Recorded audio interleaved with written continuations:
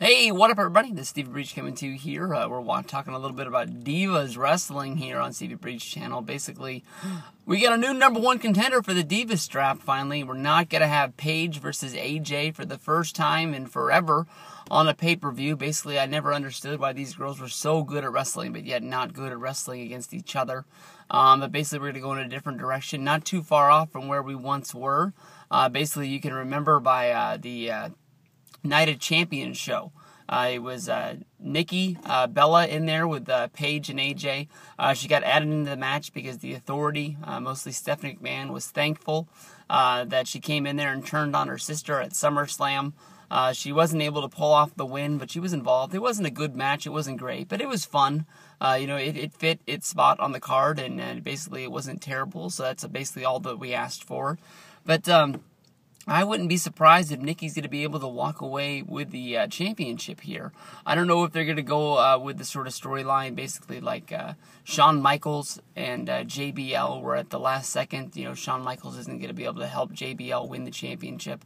But you know that uh, Nikki's got Brie as her personal assistant thanks to her victory at the um, Hell in the Cell show. She's going to be new, her new personal assistant, and that's going to be involved with you know her being out there and being told uh, to help her uh, win matches. And I don't know if she's going to do like the Bobby Heenan spot with uh, Ultimate Warrior and Rick Rude, where basically Brie's going to hold down AJ's legs to the point where she's not going to be able to kick out, and Nikki's going to pin her on top of her. But um, I think that's going to be the biggest factor what's going down. I think when you looked at that Night of Champions card uh, and, and, and that match, basically having a promo with Brie Bella uh, before the match started and having her not get involved in the ring, I think that sort of made everybody sort of scratch their head. Basically, like, you know, everybody thought she was coming out and she never even came out and got involved in the match. Nikki just lost on her own. Um, of course, Nikki won this shot to become a number one contender by dressing up in the uh, Halloween edition of SmackDown with the uh, Divas Halloween costume battle royal, whatever the heck they called it. She came out on top, so she's going to be the new number one contender.